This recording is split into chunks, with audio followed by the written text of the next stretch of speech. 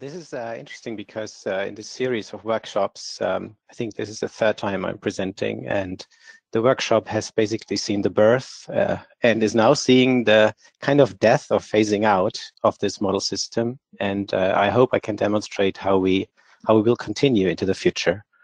Um, of course, I'm presenting here just by myself, but there's a lot of people who were involved in this, and I think Knut is there and just cheered to me um, there are some people involved in the development uh, that are that establish new cooperation, like uh, Lars with PDAF or Joseph Zhang with uh, Schism System. Uh, people from ESMF who helped. Right. Uh, what we haven't talked about so far is is really going deeper into the Earth system. Now, lots of the applications are atmosphere-ocean couplings, and um, at our Coastal Institute, we're very much interested in the sea floor and water column coupling, so one layer below basically, and in water depths that are typically much shallower than 10 meters, which is a kind of a water depth where global models come to their limitations. So we have very different domains and scales from many of the other systems, different communities that we involve, and uh, also there's a great uh, diversity of modeling solutions for coastal systems uh, where we have the emphasis on interfaces, interfaces between the seafloor and the water, between the different biota, between chemistry and physics, waves touching, uh, reaching the bottom. So we wrote a summary paper uh, a couple of years back where we basically stated that models are not made for interfaces or the current coupling systems are not. Uh, up to now, there has been no coastal modeling environment that enables a modular and flexible model integration. And uh, we needed this kind of modular approach and cross-system approach to answer some questions um, that are particular to coastal systems, especially feedbacks. Um, and these feedbacks are not necessarily more complicated than ocean atmosphere wave feedbacks, feedbacks but certainly less understood. Um, one of those challenges is to understand how nutrients are distributed along the coast, and that has important consequences for policies that try to reduce the nutrient input to our coastal seas. So we are working towards uh, the Water Framework Directive or the Marine Strategy uh, Framework Directive.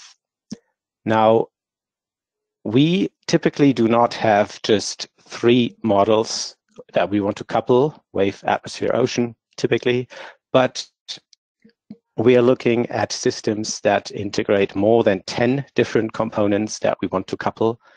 And uh, also, we are looking at a long development cycle. In biological and ecological models, we often do not have the theoretical understanding that we have in physical systems and physical models. So there's a lot of trial and error going on. And uh, we really have to see that we have a very fast development cycle from adding something in the model, playing around with a specific model code, and then bringing that into a coupled system very fast. Also, much of the biological experiments are done in a lab or uh, 1D, 0D environment. So we wanted to get this lab uh, formulation in the models to a 3D application uh, for regional sea. Um, we evolved our modeling system, which is really an application layer, and you will hear about MAPL later today. Um, an application layer on top of uh, ESMF uh, with two concepts. One is flexibility, and uh, yeah, I'll give that to read for you. I can't quite read my own slides. Um, so if you just scan across this, yeah, we have the flex, we want the flexibility to go from 0D to 3D very fast and to encapsulate the many different model solutions that are available for the coast. Right, the equitability is our second concept. And um, in this concept, we wanted to basically away from our historical development where numerical weather atmosphere and hydrodynamics play the larger role in ecological systems. Because much of our development is revolving around biological and chemical questions, we posited that chemistry and biology are equally important um, as the physical systems. And of course, this is not true. Not all models are created equal. But uh, with our system, we try to go a step towards that equitability between models and also between equitability of data models and science models. And we've seen this also in Mariana Vertenstein's uh, CMEPS system, for example, that they can easily exchange data and science model applications. Right, this system needs to go up and running in minutes. Now, if you copy this script uh, to your computer in a Linux shell uh, under optimal conditions, uh, you should have the system uh, outputting a model simulation of four years for a North Sea station uh, with just these 10 lines of not so complicated code.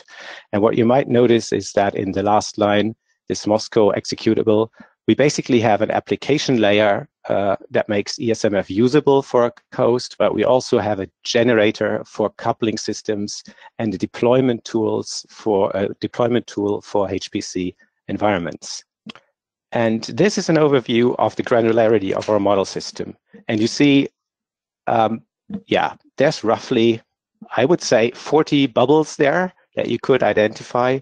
These are all coupled components that uh, can be flexibly coupled with one another. Um, and of course, exchange data, exchange control flow between all these model components. And we really demonstrated that we can go from 1D applications. Here is uh, a benthic pelagic coupled application that was looking at early diagenesis of nutrients in the sea floor via two-dimensional applications where we, for example, investigate the suspended uh, particulate matter transport um, in, a, in an estuary to full 3D examples.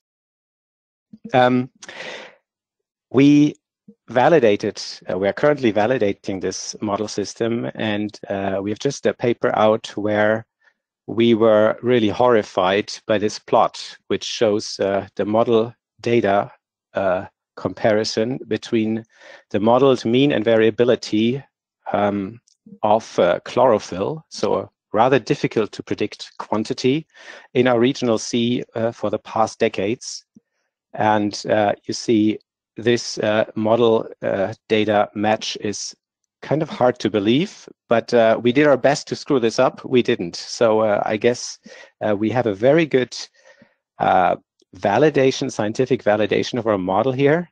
And this does not apply only to spatial variability, but also to temporal variability. we have some very good station data and also frequent satellite observations of our coastal sea here. And in the top row, you see a uh, several year cycle of uh, dissolved inorganic nitrogen, which is one of the important uh, traces for biotic activity and of course for eutrophication in a coastal sea. And uh, you see how well we simulate with the model the seasonal cycles of this quantity. And below uh, is shown a pattern matching between satellite and um, model simulation. And uh, never before have, I think, uh, we been able to come so close to the regional patterns that we observe in um, biotic quantities here, chlorophyll. So having this model validated, um, we actually can do some interesting uh, ecological studies. And uh, on the left, uh, we have a study where we investigated the effect of the um, shell of, uh, of clams that uh, live at the bottom of our sandy sea and that stabilize and destabilize, of course, uh, depending on the current regime, the, um, the uh, seafloor sediment. And wherever it's red, there's a uh, negative effect of uh, stabilization of so accumulation of sediment and blue there's a destabilization of sediment. So you can see really that biota might have a large effect on uh, the sediment regime in a coastal sea.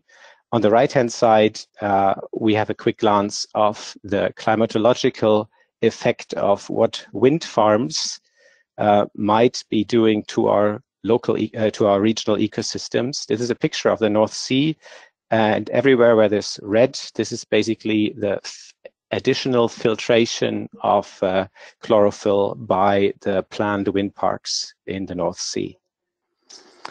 All right, so we had this system up and running with our hydrodynamic model GETM, and uh, you saw Tobias Bauer talking about GETM Icon uh, yesterday. And uh, we are now taming a new beast, which is uh, the Schism, Semi-Implicit Cross-Scale Hydroscience Integrated System Model developed at VIMS, uh, Virginia uh, Marine Science Institute. And this is really a beast and you saw it's a it's really a system a coupled uh, system already by itself monolithically coupled and we wanted to modularize this so make it more flexible.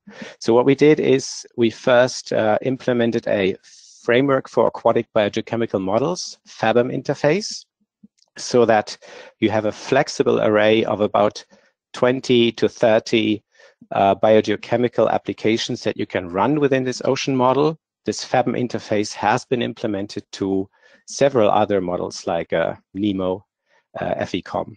So uh, some of you might be uh, might be might know this one. And we also added ESMF and NUOPC caps uh, to Schism for the domain coupling. Now there were this uh, ESMF code is currently standalone. We haven't followed the recommendations by ESMF yet to uh, to add this to the main model code, but it's under development.